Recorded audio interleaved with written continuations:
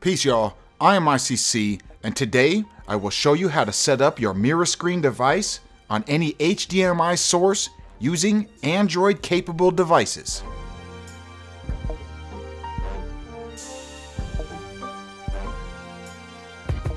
The MiraScreen device is a small HDMI dongle that allows you to connect wirelessly and view Android devices on anything that has an HDMI input.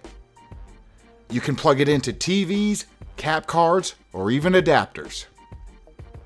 You will need to have a 5 volt 1 amp power supply for the MiraScreen. If your TV has a USB port, you can use that.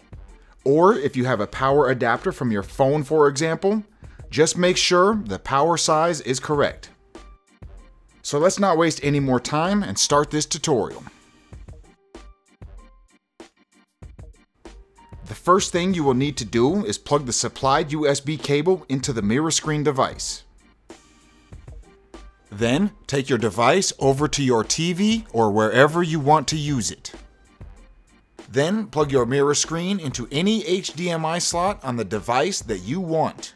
Take the loose end of the USB cable and plug it into your power supply. I will use my TV because I have a 5 volt 1 amp port that is easily accessible. Place your sensor in the best location that you can find, just try not to cover it. Now we can power on our TV and change the channel to where we plugged in our MiraScreen device. The image should come on the TV once you reach the correct channel, and it should look like this.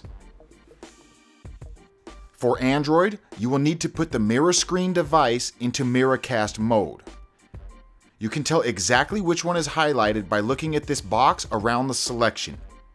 If you are in AirPlay mode, you will need to press the small button on the device one time. This will switch the MiraScreen into Miracast mode. Then take your Android device, swipe down on the screen to bring up the top menu. Go to the right and click Screen Mirroring.